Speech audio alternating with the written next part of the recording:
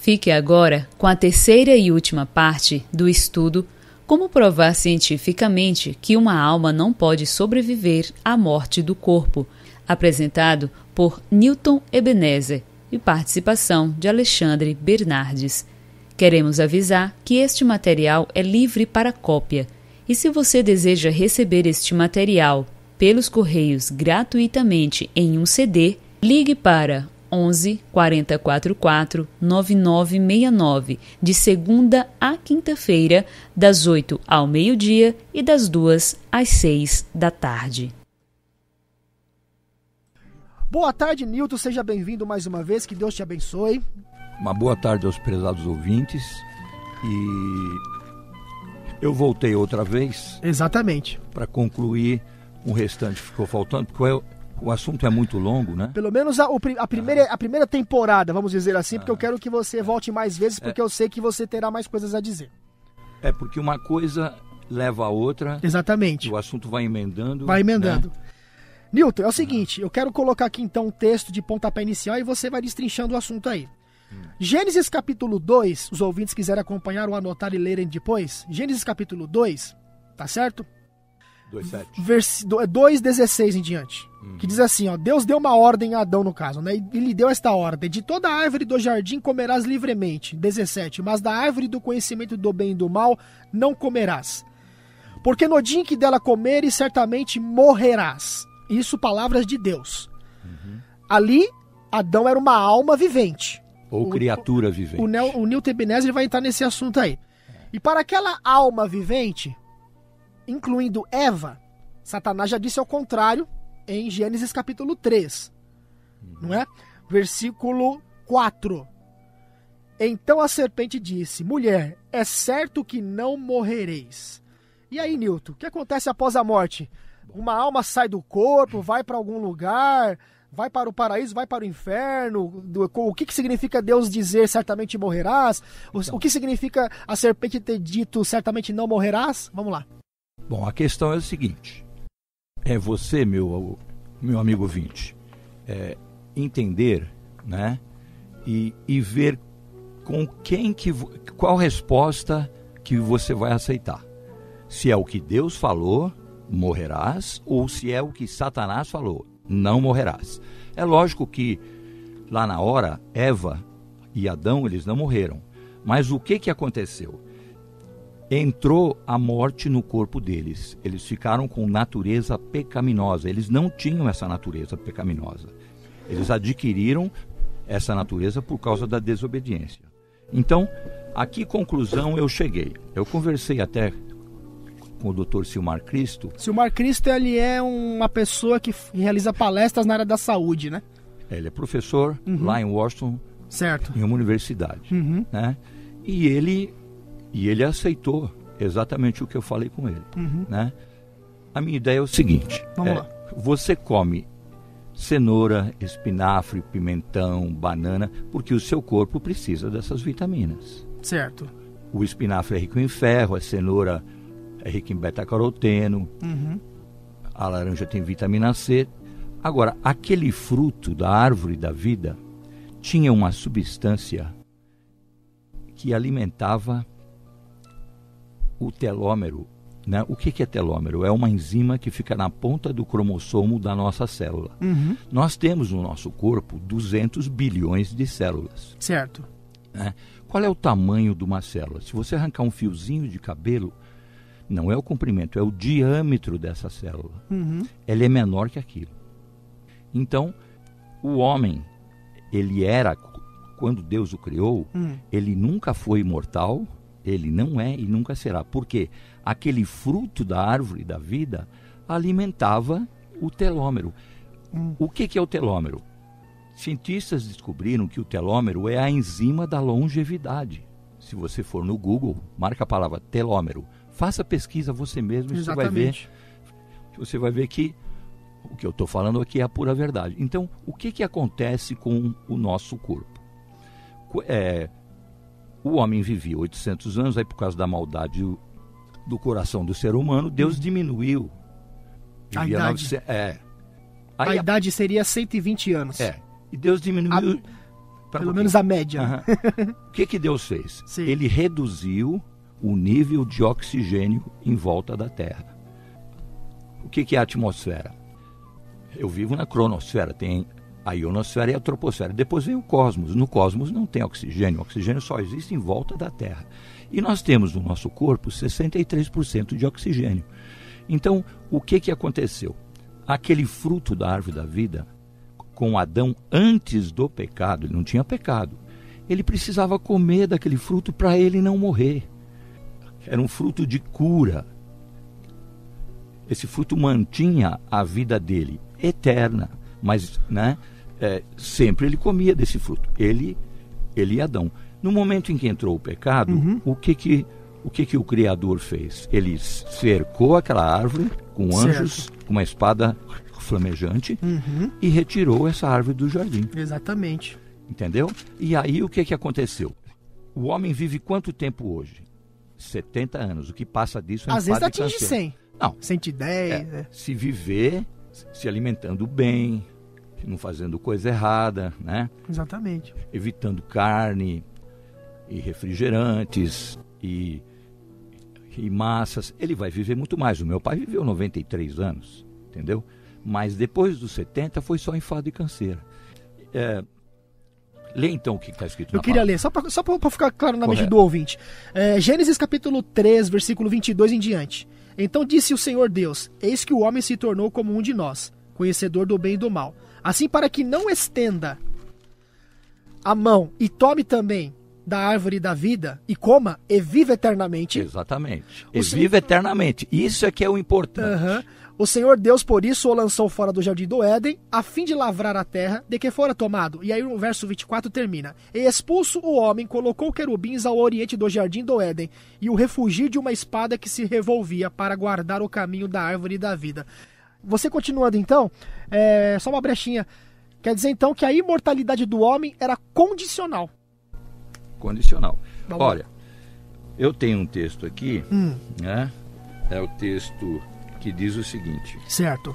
Ok, eu achei o texto. Manda lá. O texto está em Ezequiel 18,4. Certo. Ó, Eis que todas as almas são minhas. Uhum. Essa palavra alma, no Strong, ela aparece como human being, ela aparece como, como é, self, hum. eu mesmo, como ser vivente, como criatura. Quem é Strong? Só para o ouvinte saber. O Dr. Strong, no ano de 1841, ele fez um lexicon. O que, que ele fez? Ele numerou cada palavra da Bíblia uhum. e foi no hebraico para ver qual era o sentido dessas palavras. Legal. Então, para você saber exatamente o que significa aquela palavra, você tem que pesquisar na origem, de onde originou. Ou o contexto. É. Se tiver só o português, Exatamente, o porque a Bíblia que você tem na sua casa é uhum. cópia da cópia da cópia. E a palavra espírito, ela significa muitas coisas. Então você tem que ver naquele texto o que, que significa a palavra espírito. Por exemplo, e soprou o Senhor Deus hum. o fôlego de vida. Esse fôlego de vida não foi o oxigênio. Porque quando Deus fez o homem, ele fez primeiro a célula. Uhum. É, né? Sem ter feito a célula, uhum. ele não, fa... não teria feito o homem. E a célula tem 63% de oxigênio. Então o homem já estava respirando, porque senão a célula ele iria morrer. Aí depois é que Deus soprou. Soprou aonde? Nas narinas. Por que, que ele soprou na narina? Porque a narina tem ligação direta com o nosso cérebro. Então uhum. ele soprou Nishmat Haim. O que, que significa isso aí? Que é intelecto. Então o que o homem tem não Capacidade é. Capacidade de pensar. Então o que o homem tem, olha que legal, agora tá clareando aqui.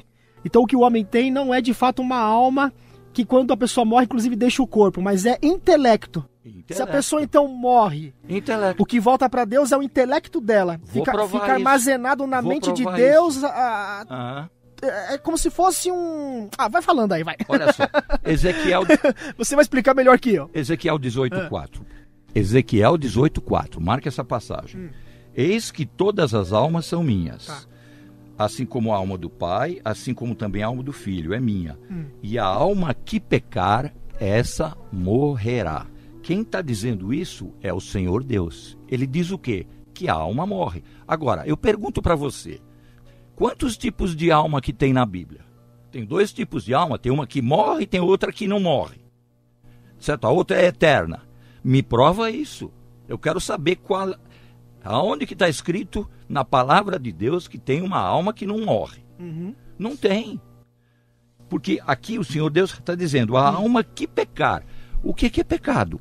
É a transgressão da lei. Hum. Adão pecou, Eva pecou. Nós somos todos pecadores. Por isso que a Bíblia diz que todos pecaram e o salário do pecado é a morte. É a morte. Então, então quando morre, morte, morre mesmo. Morre, é, morre, é morte, é morte, contrário Exatamente. da vida. Ninguém vai escapar da morte. Uhum. Todos nós um dia iremos morrer. Certo. Né? Então o que, que acontece? Hum. É, Romanos 7,7. O que, que diz lá em Romanos 7,7? Quer que eu leia aqui só, na minha? Né? Vamos o que, lá. O que que Satanás fez? Toda alma que pecar, essa morrerá. O que, que eu vou ler aqui? O Senhor Deus, hum. ele diz: Eu sou o teu Deus certo. e eu não mudo. Está na Bíblia, eu não mudo. Romanos o que que eu leio aqui? Romanos 7,7. Ok, que Deus, diremos... Espera um pouquinho, tá, Deus fala o seguinte, jamais alterarei o que saiu dos meus lábios. Certo. Né? Êxodo. Pode ler, Romanos 7,7. que diremos, pois? É a lei pecado? De modo nenhum. Mas eu não teria conhecido o pecado, senão por intermédio da lei. Exatamente. Pois, pois não teria eu conhecido a cobiça, se a lei não dissera, não cobiçarás. Correto. Então, e aí vem os outros mandamentos, que certo. são dez. Uhum. Então, olha só. É a lei pecado? Não. O, a lei serve para quê? A lei é um espelho uhum. Que mostra o pecado para o ser humano. Certo. Quem é que tira o pecado do ser humano? É Jesus Cristo. Uhum. A lei mostra o pecado. A lei não tem a capacidade de tirar o pecado do nosso coração. A lei só serve para nos condenar. Uhum. Só que ela não foi abolida. Ó, vamos abolir a lei do trânsito. O que, que vai acontecer no trânsito? Uma empresa, você tem horário para entrar, você tem horário para sair. Uhum. É a lei daquela empresa. Senta, você tem que bater o cartão, sair e tal. Vamos abolir isso. O que, que vai acontecer com a empresa? Vira uma bagunça. O governo federal arrecada os impostos. Se o povo não pagar o imposto, vira um caos. Se bem que às vezes cobra demais também, né? Bom, aí já é outro problema, eu não vou entrar nessa questão. Então o lá. que que acontece? Hum. A natureza toda obedece lei. O mar chega até a praia e volta. Exatamente. Entendeu? A nuvem, ela nos dá a chuva e a chuva cai em, em gotas. Em gotas. Certo. Entendeu? Obedece uma lei da natureza. O vento obedece uma lei. Entendeu? Então, como que você vai acreditar hum. que o Senhor Deus, o Criador dos céus e da terra, né, aboliu a sua lei, a lei que ele escreveu com o seu próprio dedo lá no Monte Sinai. Então houve transgressão da lei, o pecado é a transgressão da lei, o salário do pecado é a morte. A Bíblia diz que todos pecaram. Vamos voltar então pro... Vamos Deus. voltar para o assunto então morte lá, que Correto. são provas bíblicas e científicas de que uma alma não, pro... não pode sobreviver à morte do corpo. O que mais você tem para provar isso para nós aqui. Eu sei que é muita coisa. Apocalipse. Mas a gente vai colocando pelo menos o básico. Apocalipse 20. Hum. Que você pode ler? Posso sim. Olha, Apocalipse 20. Hum. É, Vamos lá. Verso 13, olha só. Verso? Verso 13 em diante. Até, 13? É, você quer que é. eu leia? Você lê? Como é que faz? Pode ler aí, pode ler você. Então, Apocalipse capítulo 20, do versículo 13 ao é. 15, tudo bem? Isso. Deu o mar aos mortos que nele estavam isso. A morte e o além entregaram os mortos que neles haviam. Ó, aqui na minha Bíblia Eu está... Eu estou lendo a versão ao meio da revista atualizada. Então, a minha é trinitariana. Aqui diz assim, ah. a morte e o inferno Sei. deram os mortos que nele havia. Tá. A morte e o inferno. Ó, o que que é ensinado por aí? Hum. Que se a pessoa é boa, foi pro céu, né? A alma dela vai é, pro céu. É, a alma dela.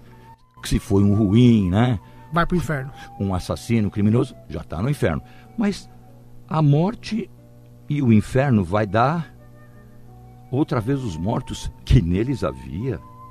Estranho, né? Isso aí. Vamos continuar Agora, lendo? Lê, lê. E foram julgados por, um por um, Isso. segundo as suas obras. Então a morte e o inferno foram lançados para dentro do lago de fogo. Correto. Esta é a segunda morte, Isso. o lago de fogo. E aí termina no 15. Hum. E se alguém não foi achado inscrito no livro da vida, esse foi lançado para dentro do lago de fogo. Você falou que tinha um negócio para dizer do, do, livro da vida, não é Exatamente. isso? Exatamente, é o seguinte. Fala para mim. É o seguinte. Cada dia da sua vida, meu ah. querido ouvinte, você escreve uma página da sua vida. Hum. Né? E Deus anota tudo isso lá no céu, no seu livro da vida. Quando é que eu vou escrever a última página do meu livro da vida? Eu não sei, porque eu não sei o dia da minha morte, só ele sabe.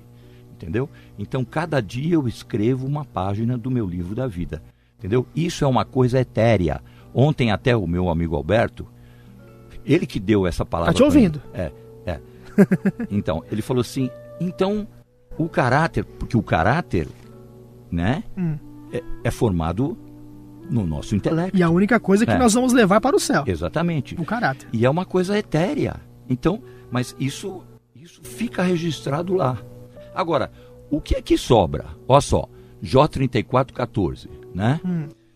Você não sabe, Deus está dizendo que eu posso retirar de você tanto o seu fôlego, fôlego é a respiração, quanto o seu espírito. Esse espírito é Nishmat, Nishmat Shaim, que você, né? Que no hebraico quer dizer intelecto. Então, Deus não vai tirar alma nenhuma de você. Ele vai tirar de você o intelecto, né? Mas A respiração hum. desaparece porque o que é que eu respiro? Eu respiro oxigênio. O oxigênio tá. é a gasolina do meu corpo, né? Então, no momento da morte, eu paro de respirar. Eu queria então apertar você. É, tem uns textos, por exemplo, que se eu for dizer então, por exemplo, alguém já alegou assim: ah, mas se eu for colocar, substituir a palavra espírito por fôlego de vida, então vejam só esses textos aqui, como ficariam estranhos e esquisitos de serem entendidos. Ah, tá. Eu quero que você já abre aí, ó, nesses okay. textos aí, tá? Que a gente vai fazer um negócio bem bacana agora, bem legal. Tome nota para você anotar esses textos. Mostra para mim alguns, alguns textos. textos aqui. Olha Isso, só. eu quero fazer uma Olha dinâmica só. agora. A palavra fôlego, ah. a palavra fôlego no hebraico, fôlego ou respiração certo. ou fôlego, é ruá. Exato. R-U-A-H. No grego, pneuma. É. Espírito Santo é Ruá Hakodesh. Ah. É, no grego é pneuma. Pneuma. É, de onde vem a origem da palavra pneu, quer dizer, cheio de ar. Isso. Né? Então o que, que acontece? No hebraico, Ruá é fôlego. O problema é o seguinte: na Bíblia aparece às vezes Ruá como espírito ah. E às vezes o Ruá como, como intelecto. E eu vou provar isso agora. Por exemplo, Romanos 1,9. Está aqui. Romanos 1,9, vamos lá. Porque Deus é minha testemunha. Hum não sei se você já achou aí em casa. Eu... Porque Deus eles, vão, é... eles vão anotando lá. É, porque Deus é minha testemunha, a quem sirvo em meu espírito. Hum. Ora, se for fôlego, né? Ou vento, pode ser vento também. Né? Ruar hum. também pode ser vento. Porque Deus é minha testemunha, a quem sirvo em meu fôlego. Como é que você vai servir a Deus com seu fôlego? Não. No hebraico, na Bíblia ortodoxa judaica, hum. a, a, quem sirvo em meu nishmat. Intelecto. No meu intelecto, no meu entendimento no meu raciocínio. Entendeu? Vamos ver um outro texto. Vamos lá. Coríntios 5:5. Qual? Primeiro ou segundo de Coríntios? Primeiro Coríntios 5:5. Primeira, primeira de Paulo aos Coríntios 5:5. É. é. Ah. Para entregar, né, a Satanás. Sim. Para a destruição da carne, para que o espírito seja salvo no dia do Senhor Jesus. Se eu for colocar fôlego, então ficaria esquisito, porque parecia que salvaria fôlego. Exatamente. Qual é o sentido então aqui? É Nishmat. Intelecto também. É. Mente, para, para, entre, para entregar a Satanás, hum. para a destruição da carne, para que o, o meu caráter, o meu intelecto, o meu raciocínio, o meu entendimento hum. seja salvo no dia do Senhor Jesus. Legal. Entendeu? Uhum. Né? Então é completamente diferente. Olha só. Vamos Olha lá. só. É, Atos 20, 10. Antes de você ler, comenta a tradução. Entendeu? Ah, tá. É, Olha, é. Eu, o problema é o seguinte: eu tenho 50 traduções. Eu tenho 50 traduções diferentes. Sim. É, eu estudo três horas todo dia. É. Né? Então, eu vou dar um conselho para você. Se você quer entender verdadeiramente a Bíblia, é. entendeu? É, não acredite em nada que o seu pastor disser ou que eu disser aqui também. Exatamente. Vai lá e estuda. Por e, você mesmo. É, por você mesmo, para você chegar ao entendimento. Uhum. Né? É, Atos 20, 10 diz o seguinte. Tá. Qual a e, tradução? Tá escrito? Aqui está, Almeida atualizada. Almeida tá atualizada, vai. É. E Paulo desceu hum. e caiu sobre ele e abraçando-o disse: Não vos perturbeis, a sua alma está nele. Correto? Né? Hum. Outro texto diz assim. Cê, peraí, agora você vai ler esse texto em outra tradução. Isso, não é isso? E fala isso. a tradução para mim. Não vos perturbeis. Isso. Entendeu? Não se assuste. A vida está nele. Qual tradução que você é, leu agora? Bíblia inglesa em comum. Tá. Agora, vamos na ortodoxa judaica. Ah, essa né? eu quero ver. Vamos lá. É? E tendo descido, ah. Shaul caiu sobre ele e, tendo-o abraçado, Rav Shaul disse: Não se perturbe, porque a sua Nishma está nele. Que beleza, hein? O que, que é a Nishma?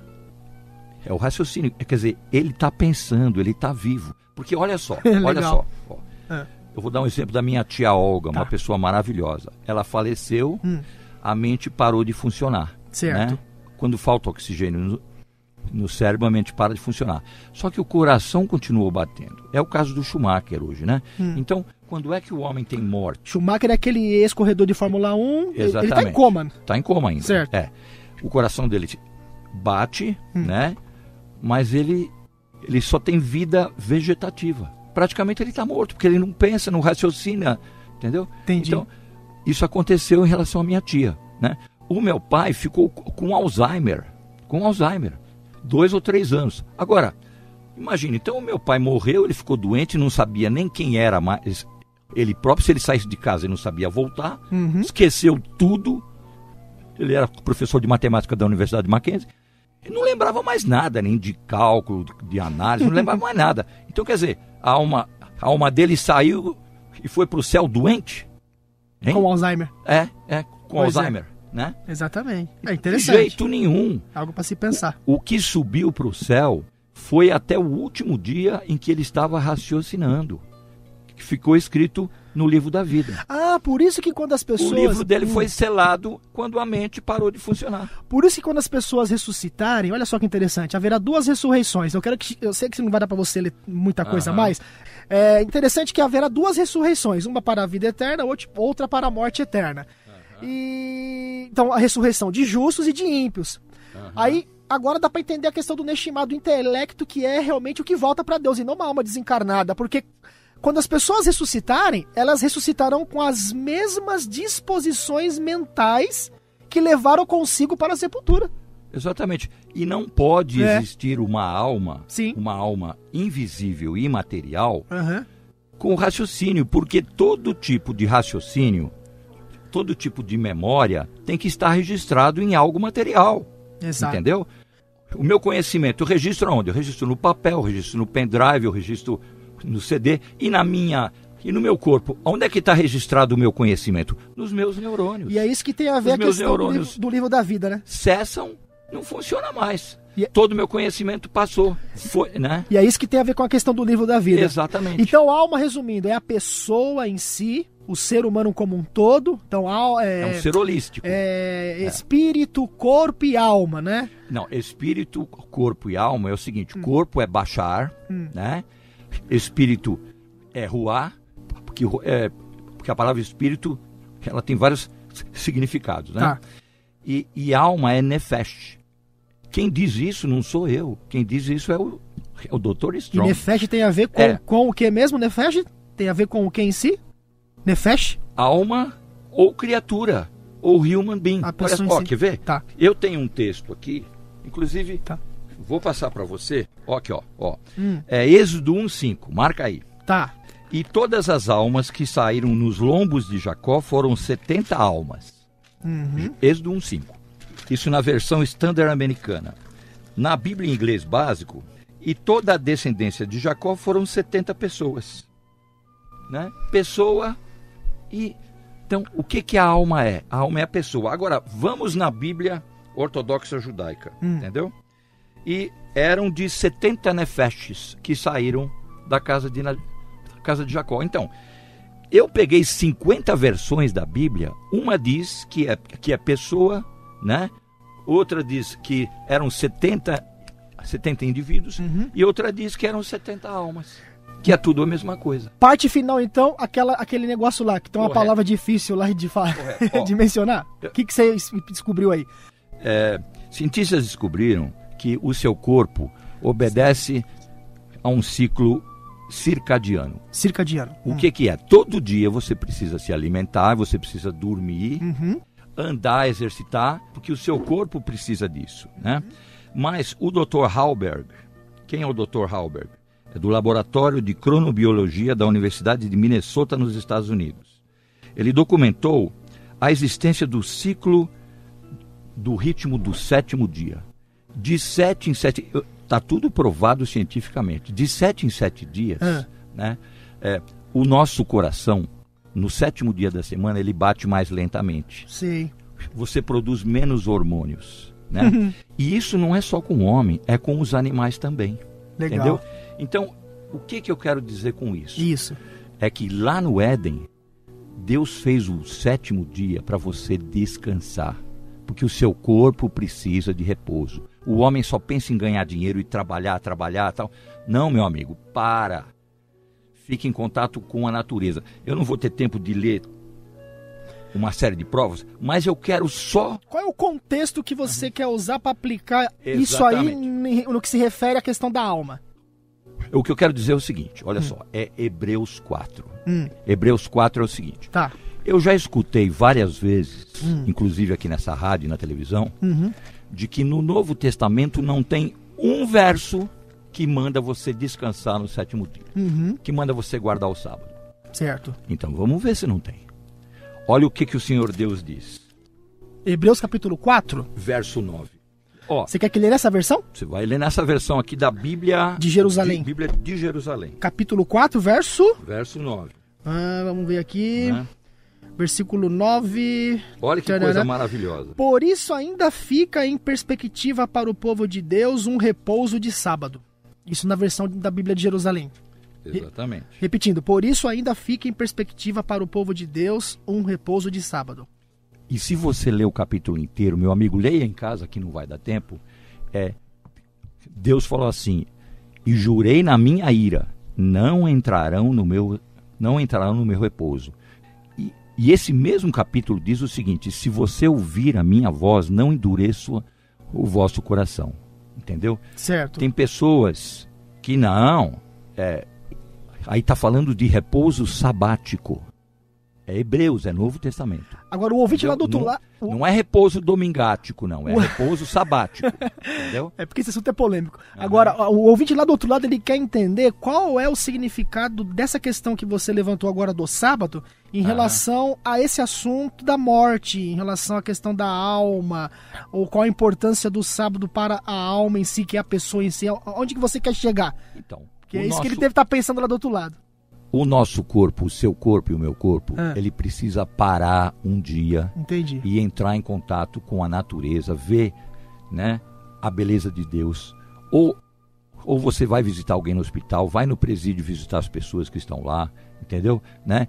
É para fazer o bem ao próximo. Jesus curava no sábado, é isso que você tem que fazer, ajudar as pessoas. Jesus colheu espiga no sábado, não foi para vender as espigas, foi para comer, entendeu? Ele nunca proibiu a gente de comer. Agora- então agora acho que eu estou entendendo onde você quer chegar aqui. Aham. Porque o Neshima tem a ver com a questão do intelecto. Exatamente. É isso? Isso tem a ver com o desenvolvimento do caráter. Exatamente. E o sábado, então, é uma bênção que Deus deu Então, para colaborar com esse desenvolvimento, uma vez que cuidar do corpo porque você também tem a ver com a questão da Porque meu- transformação do caráter. É? Exatamente, porque meu amigo, lá no céu, né, Ah. existe uma árvore da vida que você vai comer do, do fruto dessa árvore, entendeu? Né? Você nunca será imortal, você vai ter que comer do fruto da árvore da vida condicional. lá no céu. E no céu você vai guardar o sábado. Porque Jesus guardou o sábado, os discípulos guardaram o sábado, Maria, a mãe de Jesus, guardou o sábado, o apóstolo Paulo guardou o sábado.